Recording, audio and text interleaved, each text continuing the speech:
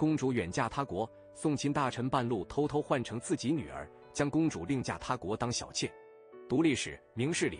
大家好，欢迎订阅《爱史说》。《红楼梦》中的黛玉曾写过吴美吟，同情那些美丽无双却红颜薄命、无法掌控人生的女子。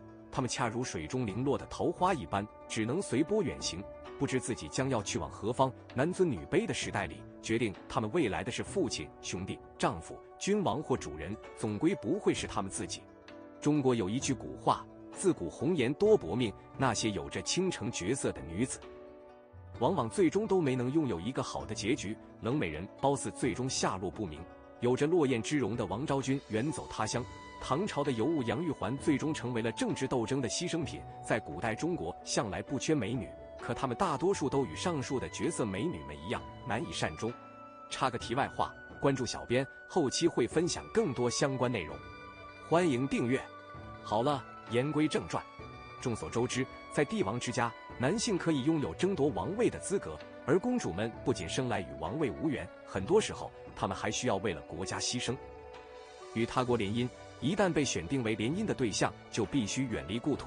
尽管他们从未参与混乱的政治生活，但却无法避免地成为政治的牺牲品。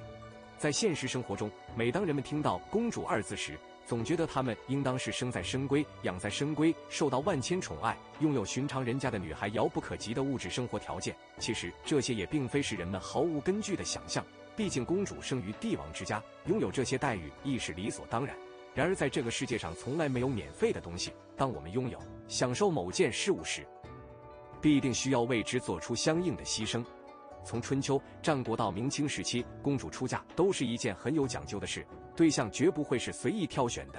他们的婚姻在父兄安排下，往往带上政治色彩。乾隆固伦和靖公主嫁蒙古科尔沁部辅国公色不腾巴勒珠尔，可就算是公主，婚姻也不一定会幸福。北魏的兰陵公主怀孕时遭到驸马刘辉殴打，导致流产，自己也因此身亡，可谓悲剧到极点。类似悲剧历史上数不胜数，甚至公主出嫁都可能被李代桃僵。这种看起来跟小说情节一样荒诞的故事，两千五百年前真实发生了。故事中，这位远嫁的姑娘就是齐景公的女儿少姜，她要嫁的就是晋平公。虽然出生时间没有记载，但晋平公大概率比齐景公要大。晋平公在公元前五百五十七年继位。当时齐国的国君是齐灵公，齐灵公最开始尊晋国为霸主国，但时间长了就越来越想脱离晋国，而寻找齐国的再次强盛。晋平公刚一登基，就给了齐灵公一个下马威，领兵攻打齐国，围攻临淄，齐灵公大败。《左传》记载，晋追，遂为临淄，晋烧屠齐国中。这一仗把齐灵公打怕了，但没过几年，齐灵公就死了，其子斋庄公继位。斋庄公利用晋国的叛臣搞事情，又被晋平公收拾了。齐国在抗争晋国的路上还没有走多久，就内乱了。这位斋庄公给自己的臣子戴了绿帽子，然后脑袋被搬了家，他的弟弟齐景公就被扶上了国君之位。齐景公继位后，齐国的内乱大爆发，卿族之间相互争权。齐景公很多时候只有无奈的份。先是崔氏和庆氏共同执政，后来庆氏灭了崔氏，而田氏、鲍氏、栾氏和高氏又联合起来搞垮了庆氏，然后栾、高共同执政。到了公元前五百三十二年，田氏联合鲍氏，又解决了栾氏和高氏，齐国的卿族势力只剩下了田氏和鲍氏。这个时候，田氏主动将得到的封地和财产献给齐景公，以期得到公族的支持。直到这个时候，齐国的内乱暂告一段落，齐景公的统治才走上正轨。而在此之前，因着内乱，齐景公的外交政策是亲近。亲近最好的方式是什么呢？自然是联姻。于是齐景公决定将自己的女儿少姜嫁给晋平公。齐国的这个小公主虽然年纪小，但是长相非常的出众，并且聪明伶俐。当时送嫁的是齐国的一个申刀府陈无宇。到了晋国以后，晋平公突然发难，觉得齐国不尊重自己，竟然让一个品阶不高的人过来送嫁。小公主听到以后，直接说：“你们晋国过来迎亲的人，也只是一个申刀府，品阶相同，你有什么好不高兴的？”晋平公看到齐国小公主不仅长相好看，还口齿伶俐，当下就心生喜欢。就这样。年仅十岁的小公主作为政治联姻远嫁晋国，在小公主嫁到晋国之后，齐国诚然没有再经受晋国的侵扰，国家日趋安定，百姓的生活也开始变得更好。然而好景不长，这位小公主薄命，远嫁过去没几年便忽然离世，一时间齐国悲痛不已。这时齐国转念一想，如今联姻的小公主与世长辞，那么他们与晋国的联姻也就不复存在。如此一来，齐国又将面临巨大的威胁。为了不让国家再次处于危险之中，齐国的君主决定再派一位公主联姻。就这样，公元前五百三十九年夏天五月，晋国的韩起再次到达齐国，为晋平公迎娶齐景公的女儿。只是这一番折腾后，虽然可以换来国家之幸，这位公主的命运却要比前一位更为不幸。据悉。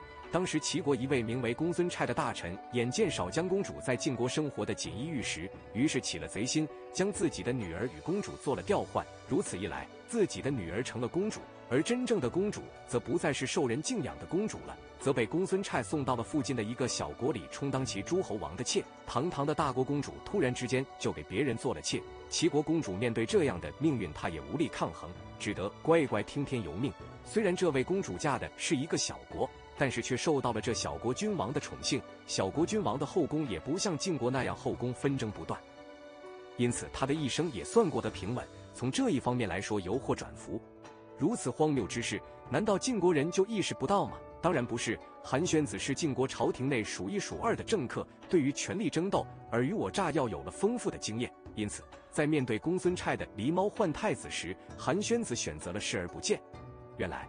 韩宣子对于晋国的将来也已经失去了信心，当下之急就是连结晋齐两国的权力阶层，以便在危机发生时自保。再加上，试问晋国之内又有谁见过这位公主的真面目？既然没有，那又何来调包一说呢？韩宣子与公孙瓒各自心怀鬼胎，互不说明，却又在暗地里达成一致，成就了一段乌龙式的国家间的政治联姻。就这样，晋国与齐国的二次联姻就这样顺利完结了。从外人看来，这次联姻似乎是一次顺利的联姻，因为近期两国顺利联姻，换来了两国一定时间内的和平与安定。可怜的公主只得被安排到附近的一个小诸侯国，在那里度过了自己平淡的一生，讽刺味道十足。我们再来看看公孙瓒的女儿被自己的父亲送作为齐国公主送到晋国，公孙瓒口口声声是为女儿的幸福，但他又怎么看不到前公主少姜的红颜薄命呢？说到底。公孙瓒的行为是绝对自私的，没有任何遮羞布可以为他掩盖住这一切。他的做法根本就没有为女儿的幸福考虑，全然把她当成一个政治工具，为自己谋求利益。在这场政治联姻中，最可怜的就是女人了。自始至终，无论是公主还是大臣的女儿，她们没有任何的自主选择权利。一国君主为了谋和平，牺牲公主前去和亲；公孙瓒为了自己的个人私利选择，将公主调换成自己的女儿，嫁入敌国。即使是有一定地位的女人，依然逃脱不了这般被人摆布的命运。时至今日，我们该如何评判这位公主的结局呢？她被人偷走了属于自己的命运，由公主变为了一个平凡人。她原本应是正室，最终被迫成为了别人的小妾。然而，倘若她远嫁到了晋国，是否还能保全自己的性命呢？如此一番分析后，最终的结局到底是好是坏，我们实在难以下定论。在古代社会，美人甚至是绝大多数的女人。他们的命运几乎从来不曾掌握在自己的手里，父权家庭压榨他们，国家政治利益逼迫他们，在历史的长河里，他们常常没有完整的性命。但我们亦不应让他们就这样随着历史一样烟消云散。如果你也喜欢历史，觉得内容对你有所帮助，记得顺手点个订阅，你小小的订阅永远是我持续写作的动力。